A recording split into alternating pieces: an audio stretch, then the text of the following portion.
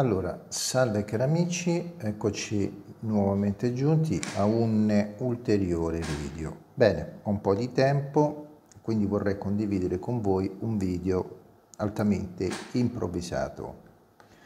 Allora, eh, davanti a me ho il mappamondo, diciamo, ok? La parte eh, di nostro interesse che è l'Asia, l'Asia minore, l'Europa, l'Oriente Prossimo, l'Oriente Medio, l'Oriente Estremo e così via discorrendo. Okay, vogliamo fare mh, hm, alcuni eh, ragionamenti, una parte di questi comunque li abbiamo già trattati negli anni. Allora, come eh, già detto nel video precedente, eh, quello che eh, si sta concretizzando in questo momento, ok, fra la Russia e l'Ucraina, o l'Ucraina, se lo volete dire nell'originale o in maniera italiana, eh, è un qualcosa di eh, epocale. Considerate che una cosa del genere non si verificava dalla famosa tensione dei, dei missili di Cuba, Ok, tutti quanti ce lo ricordiamo molto bene. È da allora che non succede più nulla di simile, neanche nel 2014, che comunque fu un evento importante, ok, la presa della, della, della Crimea da parte della Russia, fu un evento importante, eppur mh, quell'episodio non è da paragonarsi con quello che sta succedendo adesso. È un qualcosa di estremamente grave, molto grave. Al di là di come andranno le cose, a tal proposito ci siamo già espressi, ma comunque mm, anche in questa occasione ci sarà un prima e un dopo. Cioè il mondo non sarà più lo stesso da questo momento in poi, a prescindere, ripeto, noi non possiamo dire nulla, nessuno può dire nulla, eh, eh, però possiamo opinare, quindi noi ci siamo già espressi, a differenza della, del 99,99% ,99 dei predicatori che girano nel mondo, che danno ormai per scontato un attacco da parte della Russia, noi semplicemente ci opponiamo a questo come parere personale, il che se è così semplicemente, come si dice a Roma, ci abbiamo azzeccato tutto qua. È un mero parere personale, secondo noi non ci sarà. Adesso, secondo noi, però bisogna vedere. Ma al contempo, valga la ridondanza, nessuno siccome nessuno può dire sì o no, certamente l'attacco ci può benissimo essere. Perché l'attacco ci può essere? Allora, vi desidero dare, per chi mm, non lo conosce, ci sono persone che seguono il canale che non conoscono di queste cose e altre che ne sanno un miliardo più di noi. Quindi mi rivolgo a chi non conosce eh, nulla di queste cose.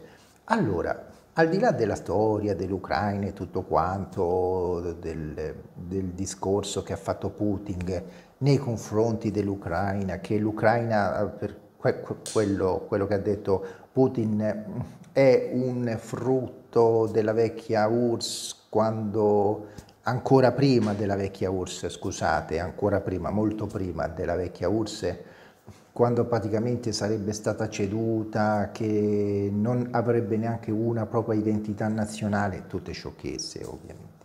Ma al di là di quello, io adesso ce l'ho uh, qui nella, nel mappamondo, ok, vado a prendere un attimino la Russia, uh, allora, mi sono perso l'Ucraina. Mm, dove sta l'Ucraina?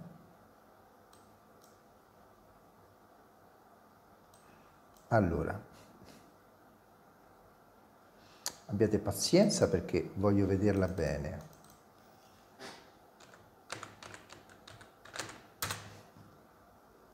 Ok. Eccola qua, trovata. Non la trovavo. Ok. L'Ucraina sta in un punto geografico molto particolare, ok? Perché l'Ucraina non fa parte in questo momento del blocco russo. Allo stesso tempo non fa parte del blocco NATO, che è la parte occidentale europea, per questo nasce la Nato o la OTAN, come la vogliate eh, chiamare. Che cosa succede? Se l'Ucraina entra a far parte della Nato, in poche parole spicciole, arriva la Nato, ci mette i missili dentro di ogni specie e praticamente neutralizza la Russia da un punto di vista militare, perché da quel momento la Russia, tutti i missili che lancerebbe in caso di una guerra, verrebbero neutralizzati da tutte le batterie antimissili poste dalla, dalla Nato in Ucraina. La maggior parte verrebbero neutralizzati e quindi la Russia perderebbe la sua potenza militare. Viceversa, viceversa se la Russia attacca l'Ucraina e ne prende possesso, farebbe l'esatto opposto, cioè andrebbe a mettere tutti, tut, eh, tutti i, mi, tu, tutte le batterie missilistiche e praticamente l'Occidente avrebbe lo stesso problema. Quindi qualunque delle due potenze penetrasse dentro l'Ucraina sarebbe uno scacco probabilmente matto, diciamo uno scacco nei confronti dell'alta potenza. Quindi come si risolve questo problema? Cioè se io prendo questo muori tu. Se lo prendi tu, muoio io. E quindi come si risolve questo? Con un patto. Ecco perché è altamente improbabile la guerra. Ecco perché. Improbabile non vuol dire no in maniera tassativa. Quindi la situazione in questo momento è estremamente drammatica. Questo ci fa capire che se questo conflitto non si risolve, il rapimento della Chiesa è adesso. Adesso. Apro parentesi, è scritto che il giorno del Signore viene in maniera correndo, in maniera frettolosa, ragion per cui gli eventi accadono in un attimo. Infatti il coronavirus si è concretizzato in un attimo, ci siamo ritrovati dentro, il mondo è cambiato e questa cosa qua della Russia si è concretizzata in un attimo. Infatti, quando io ho sentito quella famosa voce che mi ha detto molti anni fa qualcosa di molto grande deve succedere, poi io ne, ne parlai e successe il eh, fatto del coronavirus, però io poi dissi sì, è, questo è epocale, certamente, mai successa una cosa del genere, ma io sento nel cuore, e non so se viene da parte di Dio, è quello che io sento, che deve succedere qualcos'altro di molto grande e continuo a avere questo sentimento. Mi sto chiedendo se fosse questo, non lo so, poi vedremo se sarà questo o se deve venire qualcos'altro. Una cosa è certa, se, se questo che io ho detto eh, si concretizzasse, ovvero se si concretizzasse la, la parte peggiore, è, è, è questo è, questo è molto peggio di tutto il coronavirus che c'è stato, che già questo è epocale, perché catapulterebbe il mondo dentro una terza guerra mondiale, senz'altro, ovviamente noi sappiamo che non ci sarà, ma senz'altro dentro una mega guerra. Quindi il discorso Ucraina è molto importante, però io volevo un attimino tornare a un discorso riguardo il ragionamento già fatto rifatto e strarifatto in molti video negli anni di Gog e Magog. sto vedendo improvvisamente che molti colleghi, fratelli colleghi che si occupano di escatologia e quant'altro, inseriscono la Cina in Gog e Magog. Allora, la prima cosa che dobbiamo imparare, e questo è tassativo, è che in escatologia nessuno ha l'ultima parola. Ok? Benissimo. Il fondamento della Bibbia è chiaro, però poi magari se nello specifico nelle nazioni di Gog e Magog una, che ne so, Put corrisponde a una nazione piuttosto che un'altra o Gomer corrisponde a una nazione piuttosto che un'altra, questo non è toccare il fondamento. Quindi una cosa, un'altra cosa tassativa nell'escatologia, eh, nella profezia di Gog e Magog, è che le nazioni non è così immediato decifrarle in maniera tassativa. Quindi noterete che nei secoli sono stati dati i più disparati nomi. Quindi noterete che alcuni hanno inserito determinate nazioni, altri ne hanno inserite altre. Okay. Quindi questo è molto importante tenerlo in mente, ma al di là delle nazioni singole, quello che sì è tassativo è il blocco. Il blocco, perché è scritto nero su bianco, è il nord e non solo il nord, anche l'estremo nord. E infatti io qui ho il mappamondo, come già detto, l'estremo nord e si parte sempre da Gerusalemme, e di questo ne ho già parlato, eccolo qua, questo è il Libano, l'estremo nord di Gerusalemme è Mosca.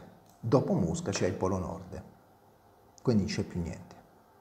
Quindi è chiaro che Gog e Magog è la Russia e la Cina è un'altra cosa. Infatti una cosa è Gog e Magog e una cosa è Armageddon, con i re che vengono dall'estremo oriente, dall'estremo sollevante, quindi sono due cose diverse, però quando i predicatori, i miei fratelli colleghi, inseriscono dentro Gog e Magog anche la Cina, che io non seguo questa linea di pensiero e ognuno deve scegliere la propria linea di pensiero, quindi non è che dovete ascoltare me, voi dovete fare i conti come li faccio io. Io non seguo questa linea di pensiero, però, però in un qual senso molto generale sono imparentati, anche se Gog e Magog non è la Cina, ma si c'entra la Cina, ma di riflesso, e lo spiego. In questo momento, apro parentesi, in questo momento l'Europa, una parte dell'Europa, sta iniziando a sanzionare la, la Russia. La Cina si è già espressa dicendo che non è d'accordo, perché la Russia ha il diritto di difendersi. Quindi da una parte, prima, precedentemente, la Russia aveva detto che la Russia ha il diritto di difendersi e l'Ucraina non deve essere attaccata, come dire, si è messa in mezzo, però, come già detto altresì, poi quando parla con Putin, noi sappiamo che la Cina gli ha fatto capire benissimo che se attacca l'Ucraina non gliene può importare nulla, mentre invece Putin lo ha detto proprio in maniera ufficiale che se la Cina attacca Taiwan tranquilla, per lei va benissimo. Ora, tenete in conto, mo sto aprendo una marea di, di parentesi, tenete in conto che fra Cina e Russia non sono alleati, non sono amici, perché sono due superpotenze che si vogliono mangiare la torta. Ovviamente voi le vedete insieme nella Nato, non nella Nato, eh, nell'ONU, perché? Perché si dice che il, il, il, come dire, il tuo nemico ok? E il mio ne- nemico e il mio nemico diventa il mio amico quando abbiamo due nemici in comune, ok? Quindi siccome i russi sono nemici degli americani, di conseguenza ai cinesi questa cosa fa comodo, viceversa, ecco perché li vedete insieme nell'ONU.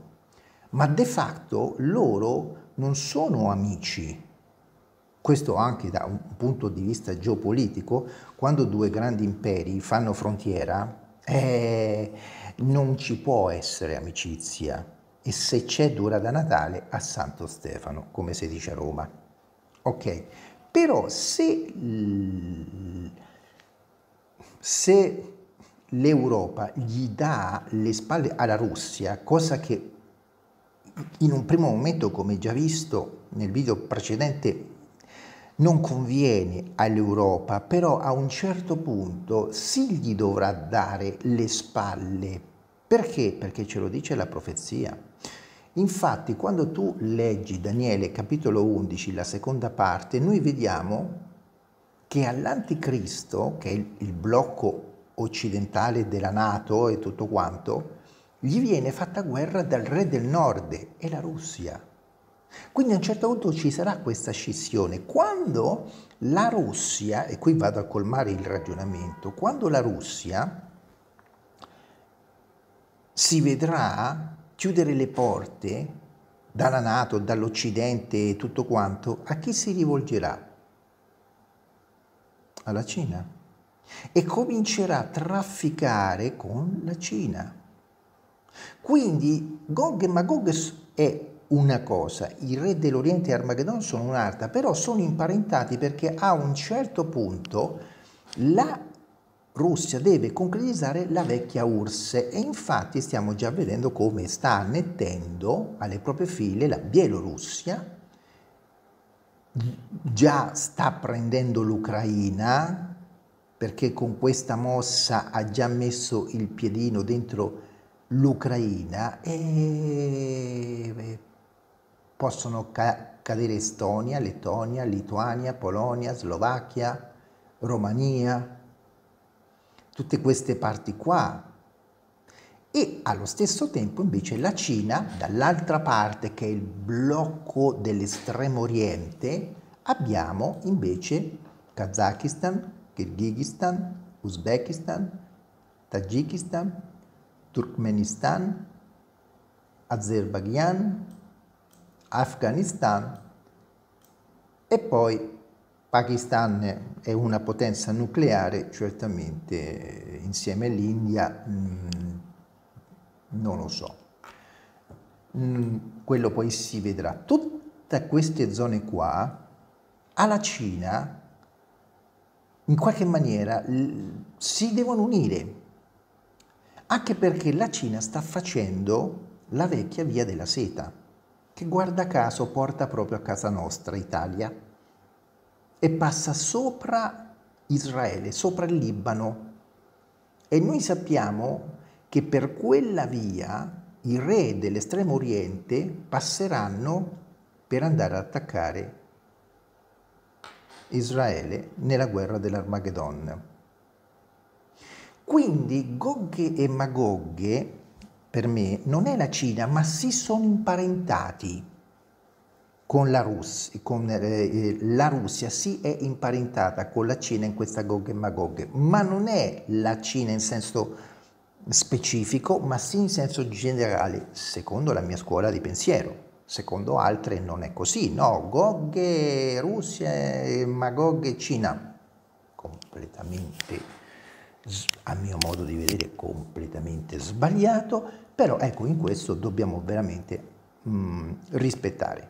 Una cosa è certa, io non dico uh, Gog e Magog non è la Cina, punto e basta. No, io dico Gog e Magog non è la Cina e poi lo spiego. Attenzione, tu devi sempre spiegare le cose. Ok, non è, non è così oppure è così. Perché?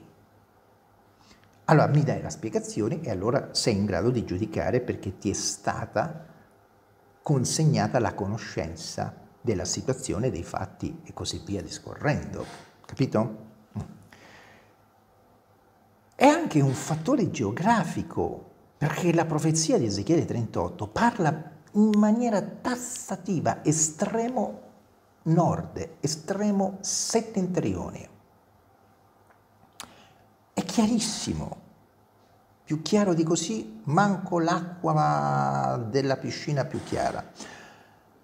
Quindi, Gog e Magog è questa. La situazione è questa. Cosa succederà nessuno lo sa, una cosa è certa. Quello che sta succedendo è epocale.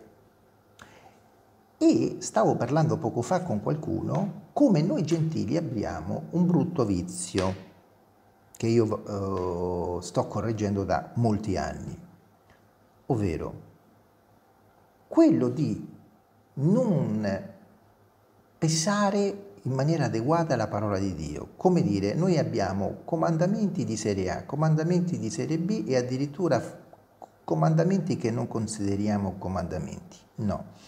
La parola di Dio, quando dice riguardate, i segni, riguardate al fico, riguardate i segni dentro la Chiesa, quello che succederà dentro la Chiesa, riguardate quello che succederanno nelle nazioni e tutto quanto, questo riguardare è un comandamento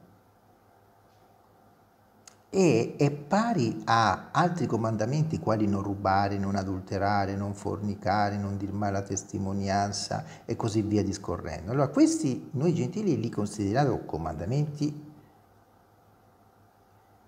e comandamenti di serie A. Gli altri addirittura non li consideriamo comandamenti, no. Un comandamento nella parola di Dio è un comandamento. E quindi noi gentili dobbiamo imparare a considerare la parola di Dio per quello che è. Quando la parola di Dio ti dice riguarda, è un comandamento pari a non rubare. Non ci so serie A e serie B attenzione a minimizzare i comandamenti della parola di Dio. Il Signore ci ha detto di riguardare i segni ed è un comandamento. Attenzione, perché Dio ti, ci, tra, ci chiamerà a rendere conto di come abbiamo considerato la sua parola, insegnato, parlato e messo in pratica. Bene, questa è la situazione torno a ripeterlo, quello che sta succedendo fra Russia e Ucraina è molto importante. È molto importante. Al di là di quello che succederà, già da oggi possiamo dire che si è concretizzato un prima e un dopo. Questa situazione non è come quella del 2014 che già è stata importante, nulla a che vedere.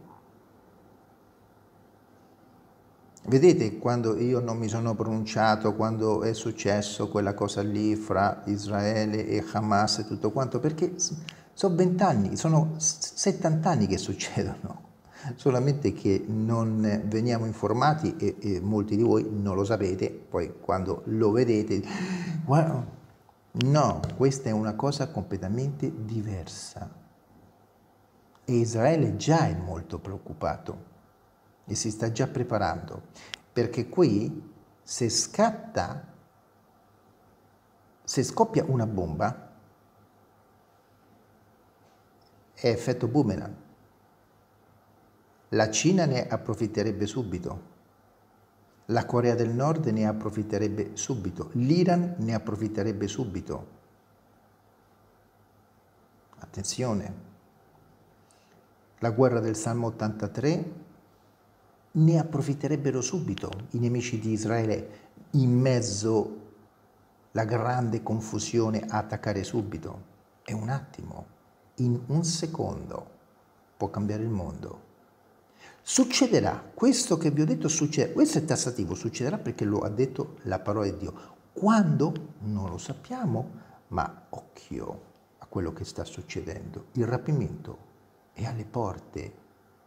Non date retta ai dindirindini che non ci credono al rapimento della Chiesa perché lo hanno posto alla fine della grande tribolazione, praticamente l'hanno tolto, l'hanno annullato, non ci credono. È chiaro, non ci credono. Attenzione.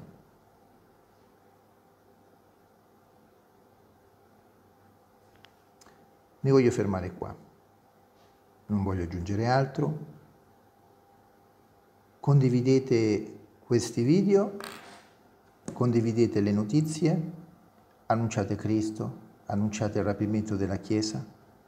Prepariamoci. Il Signore sta alle porte come non mai.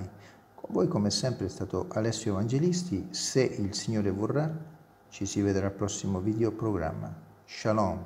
Maranatha.